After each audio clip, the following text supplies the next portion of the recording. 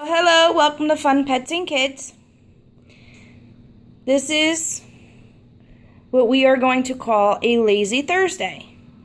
The husband has off from work, so he's going to be lazy all day. And the dogs have decided to join him. Welcome to Lazy Thursday. Thanks for watching.